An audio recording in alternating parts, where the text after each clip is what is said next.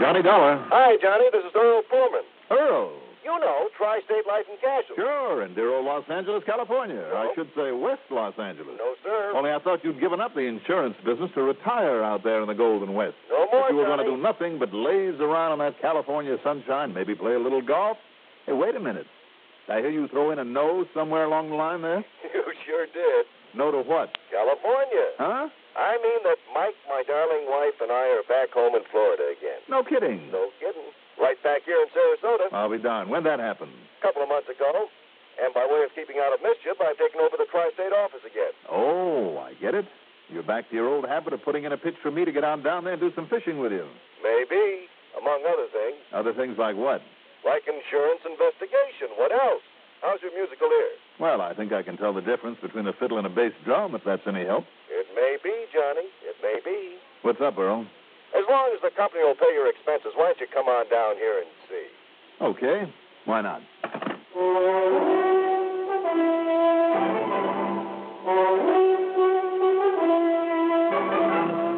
The CBS Radio Network brings you Mandel Kramer in the exciting adventures of the man with the action packed expense account. America's fabulous freelance insurance investigator, Yours truly, Johnny Dollar.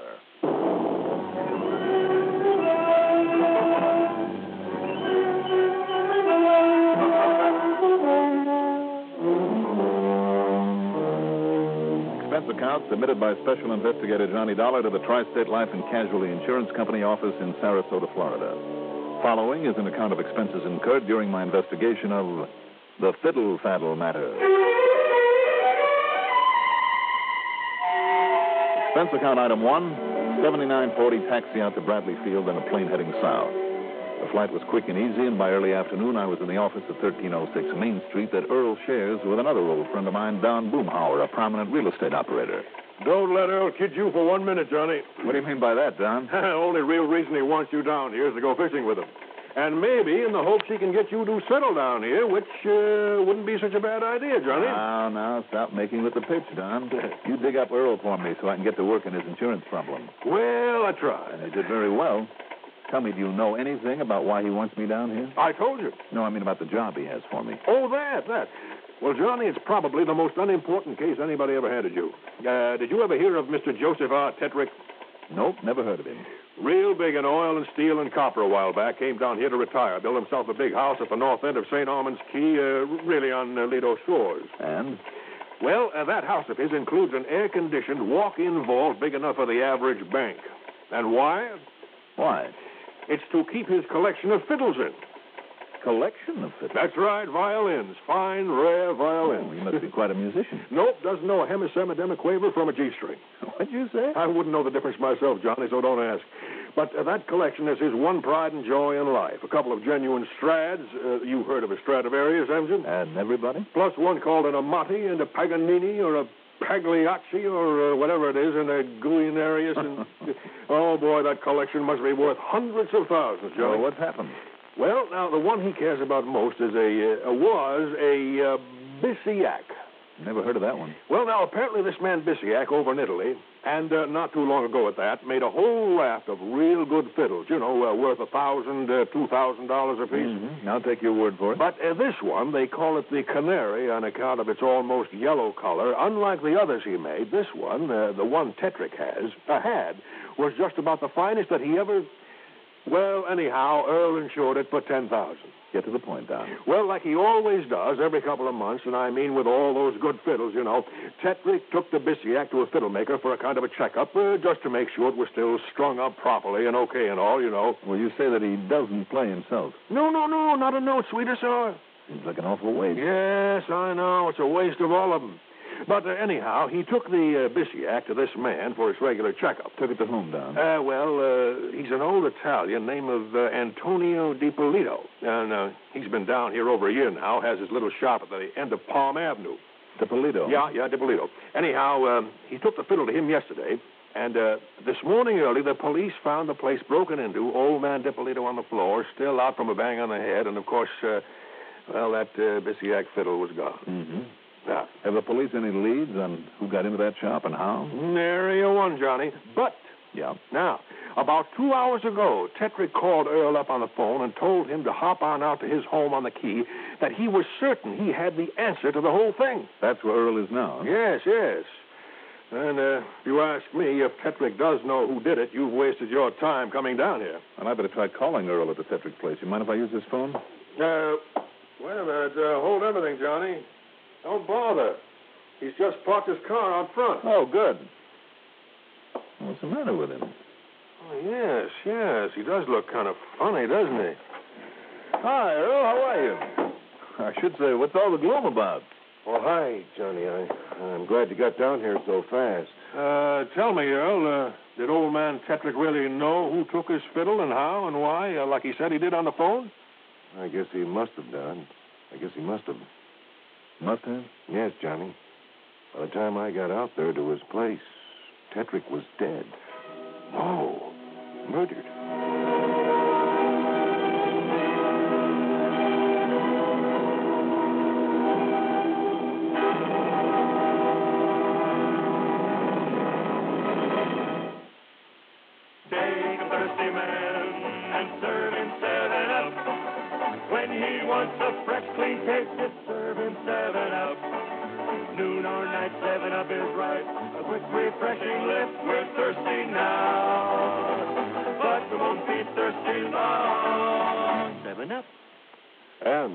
Man can tell you outside eating takes on extra pleasure when you serve 7 Up. It can be hot dogs on the grill, hamburgers on the broiler, or charcoal cooking that's really extra fancy. 7 Up just plain makes them all taste better. That's because 7 Up sharpens up your taste buds. Trout fresh from a stream, backyard barbecue, picnic at the beach. 7 Up is the greatest outdoor eating companion you can take along. So pure and wholesome, everyone can enjoy it, regardless of age. When you're planning a cookout, include plenty of 7 Up. Fresh up with 7 Up.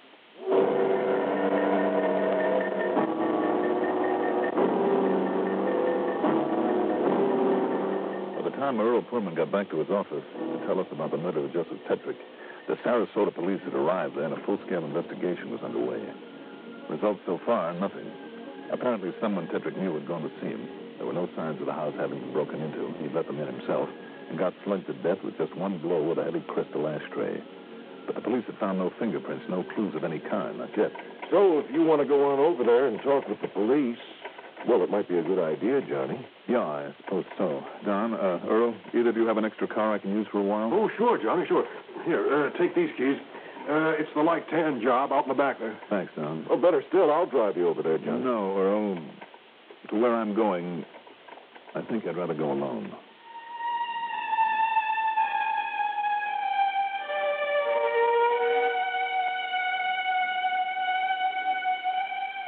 The little shop of Antonio DiPolito, there at the end of Palm Avenue, was just that.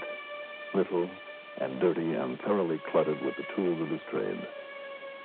In the dusty fly-specked window, he had half a dozen or so dark brown, cheap violins in a stack of fiber cases. Inside, on a couple of shelves serving as a counter, was the usual stock of strings, rosins, mutes, and so on. Mr. DiPolito sat behind his workbench, a bandage around his head, concentrating on a refinishing job on the fiddle in his lap. Now, let me say again that I'm no expert, but it did strike me that he was doing a rather good job with the varnish that he so carefully, painstakingly applied. He's a kid. He's a crazy kid.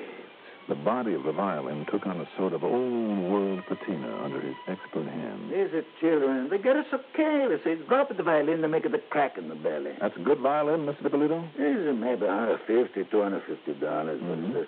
Too good for the kid. He don't take care of him. So I got to fix up. Put on the varnish. Then he's to look like a $500. Yeah, it looks pretty good. Yes. Now I'm uh, hang it up to here. And it'll dry. Yeah. And now, uh, what am I going to do for you, mister? I'm an insurance investigator, Mr. DiPolito. Oh.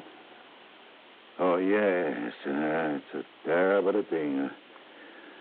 Yes, that that happened last night. The Bisiach, the beautiful, beautiful canary Bisiach. I call it canary because of its color, I understand. Yeah. Because it had sort of a yellowish cast to it. Hmm? And because of the way it could sing like only the most beautiful violin of a master can sing. Only my own boy, my young Antonio. Yeah, but now the violin is gone. Mamma mia. What a terrible thing. You want to tell me what happened to the Bisiach? I was awakened on it, uh, Mr. Mr. Dollar, Johnny Dollar. Uh, see, I was alone. It was uh, very late. And because it was uh, the beautiful Abisiak, and I pulled down the shades in at the front, I locked the door, just like I'm telling the police, so that nobody would have seen me and it's so late. Yes? And I'm, uh, well, uh, I guess I fall asleep. And then I'm going to wake up because I'm hearing somebody in a behind me. Could you see who it was? By the time I'm turning my head, he's a hit to me and a hit to me. I want to know it. Only is a daylight. And I'm going to see the police when he's a bang bang on the front door, so I'm going to let him in. Well, the door was still locked then. Yes, yes, And he'd come up behind you. yes. From the window in the back of the room. Mm-hmm. Uh, come, I'm going to show you where he's a break open at the window while I'm asleep. Yeah, I'd like to see that. Now, here. You see where he cut at the glass? Where he make it the hole to reach in and lock at the window? Used a glass cutter and probably some tape to keep the glass from falling and waking you. That's what the police says. Looks like the work of an amateur, though. Why you say that, Mr. Dollar? Well, you see, instead of a clean, round stroke with a glass cutter, he made a whole flock of straight scratches with it. You see him? Huh? You feel that? Yeah? The kind of clumsy grooves that he cut? See, see, senor. But he's thinking he hit me. Now, Mr. Dippolito, Yes? uh, like I've said a couple of times now, I don't know very much about these things. But you tell me, where could a violin, a fine violin like that, where would a person be able to buy one? Well, uh, Bisiach. I mean, surely a little place like this of yours wouldn't sell them. Oh, no. At least if those you have in the window are any sample of the stock you'd carry. Oh, no. Fine violin is like a fine jewel. That's exactly what I'm thinking of. And it's a lot more conspicuous. So whoever stole a thing like the Bisiach would either have to hide it away for years or get rid of it immediately before the alarm was out. Hmm. The only place I know of that would handle a fine violin. Oh. Yeah, I, I kind of thought you might be coming over here. Feeling any better, Dippolito? Uh, see, thank you, Mr. Pullman. Good. The only place I know of that would trade in a fiddle like the Bisiach and those Strads and the rest, well, as a matter of fact, that's where old Tetrick got all his violins. Where, The famous Wurlitzer collection up in Chicago. Sure? I could be wrong, but the way I understand it, practically all the great violins in the world have passed through their hands. Okay, then. I'm on expense account, right? Well, of course, but Johnny, what just happened to Mr. Tetrick is far more important than the fiddle right now. Or is the fiddle the key to that murder? Murder? I'll leave Don's car here. Huh? That is, if you'll drive me out to the airport.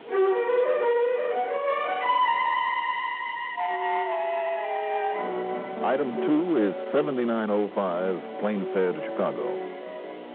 I had a late dinner and spent the night at the Blackstone Hotel. That's item three. Call it uh, $15 even.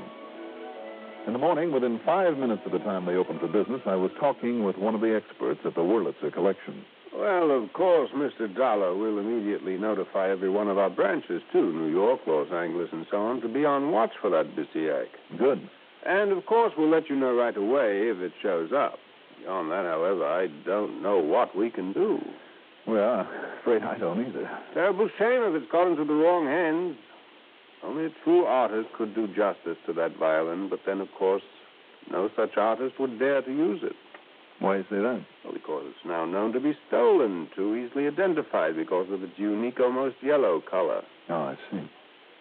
Poor Emil will be heartbroken when he learns of this. Emil? Emil Victor, who once owned it, played it in concerts all over the world before he brought it to us, and we sold it to Mr. Tetrick. Tell me, uh, why did this Emil Victor ever sell it? Oh, you didn't know? Tragic accident to his hands that also left him blind? Oh, I'm sorry. No, I didn't know. Matter of fact, I, uh, I'm afraid that I never even heard of Mr. Emil. Wait a minute. Wait a minute. Yeah? That name, of course. Emil? No, no.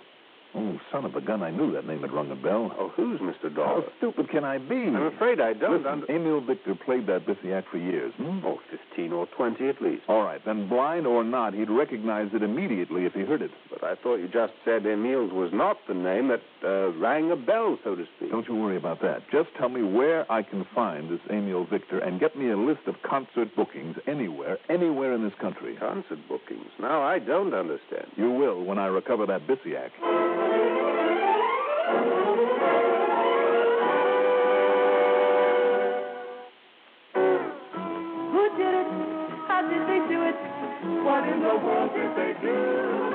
that's who. Put the man in man soft bubble? Alpine always tastes rich, never smokes rough. Try Alpine filter cigarettes. Who put the man in man's smoking? Alpine, that's who. Who? Alpine, that's who. Nice.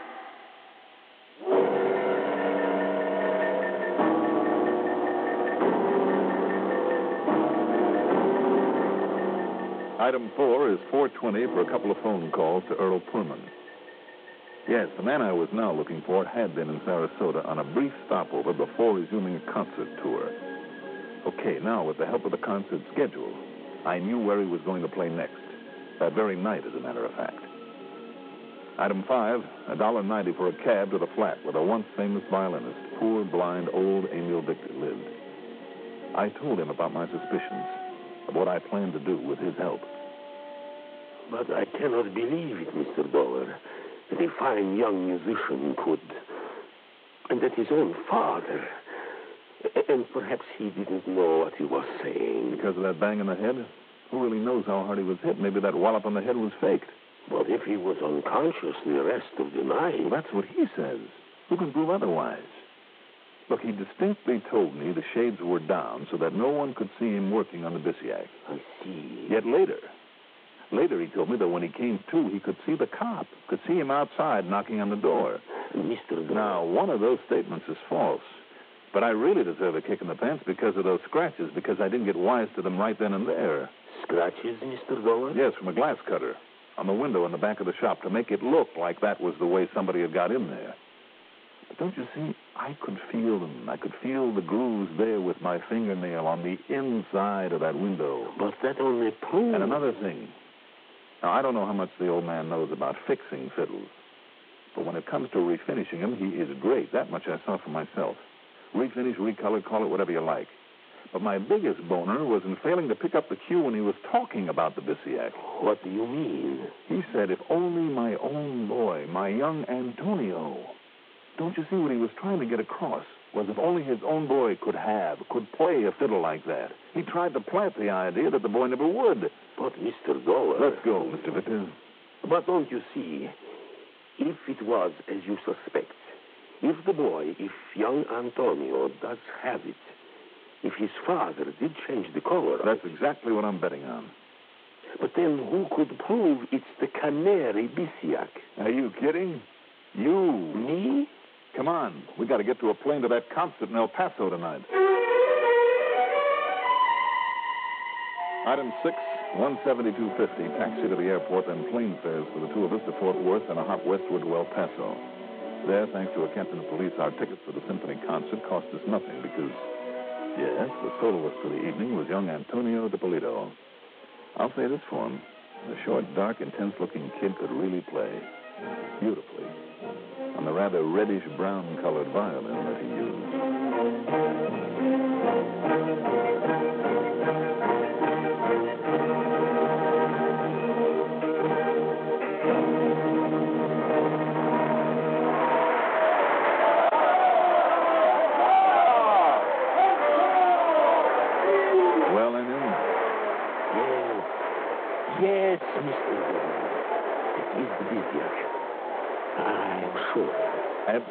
Sure? How could I be mistaken when that instrument of heaven was my own for so many years? Okay. Would a father not recognize his own child? And I tell you, the Bisiach was far closer to me than a child could ever be. It was a part of me, as much as my own hands and mind and spirit are a part of me. From the first note that young Antonio played, I knew it was the Bisiach. Good. Even though it does not quite sound the same as it did. What do you mean? Because of the varnish he must have used, the old man, to change the color. Mm-hmm. Uh, There, there is a dryness to the tone that was not there before. It is just as robust, as commanding in its tone as ever. Yet there is a dryness, too, that only I would hear. But it is the Bisiach, the Canary Bisiach. Of that there can be no question. Okay, then come on. We'll pick up the police and wait for him in his dressing room.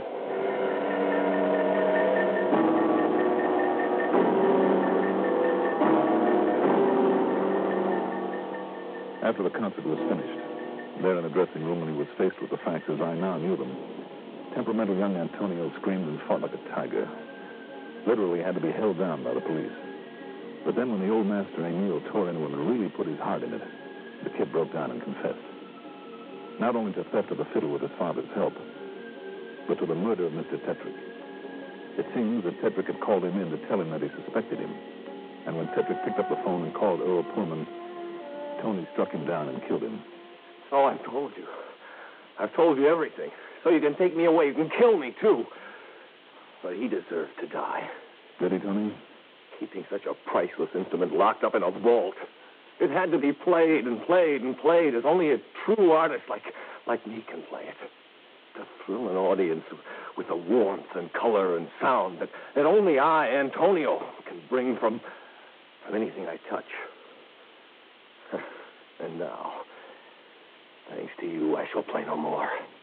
No? All this talent of mine, this matchless technique wasted. All the years that my father spent working, begging, even stealing so that I could study. And the hours and days and years of practice that I spent developing this wonderful gift that I have wasted. Is it? But it's the world that loses. Never again will an audience be able to feel the outpouring of my soul in the music of my violin. Without an audience to feel the power of my every note, I shall play no more. Why not, Tony? What? Well, if an audience is all you need, it seems to me that where you're going, you can be pretty sure of a captive one.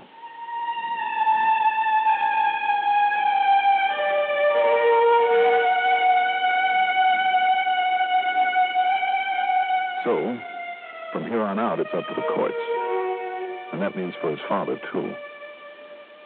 You know, I wonder if the Tetrick estate will put the priceless fiddles in that collection in the hands of musicians where they can be used and appreciated. I hope so. Expense account total, including back to Chicago with Emil Victor and the trip home. That is after a few days of fishing with Earl Pullman back in Sarasota. Six eighty-one eighty. Yours truly, Johnny Dollar.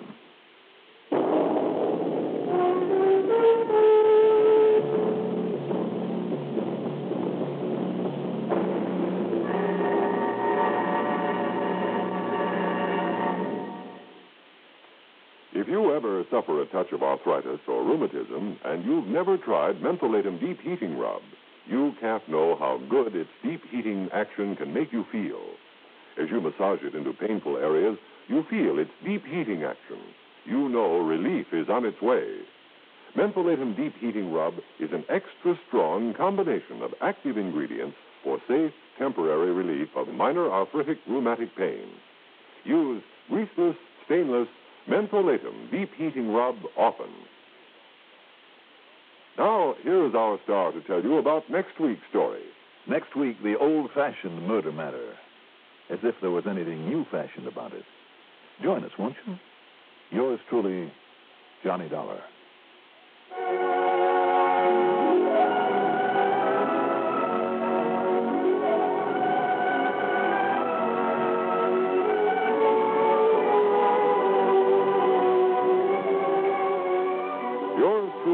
Johnny Dollar, is written by Jack Johnstone, produced and directed by Bruno Zirato Jr., musical supervision by Ethel Huber. Johnny Dollar is played by Mandel Kramer. Also heard in our cast were Santos Ortega as Dipolito, Leon Janney as Emil Victor, Richard Holland as Tony, Frank Behrens as Don Boomauer, Sam Gray as Earl Foreman, and Bill Lipton as the violin expert. Be sure to join us next week, same time, same station, for another exciting story of yours truly, Johnny Dollar. This is Art Hanna speaking.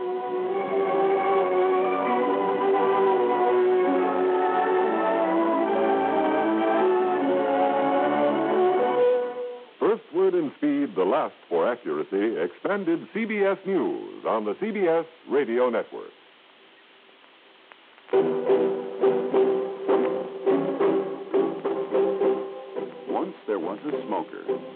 Ordinary cigarette smoker. He was neither happy nor unhappy about his cigarette. Then one day he tried a Salem cigarette. Because he heard that Salem refreshes your taste. He soon learned that Salem does refresh your taste. So softly, so gently, that when you take a puff, it's springtime. And Salem is menthol fresh with rich tobacco taste and a modern filter, too. And air softens every puff. Now he is a Salem smoker and very happy.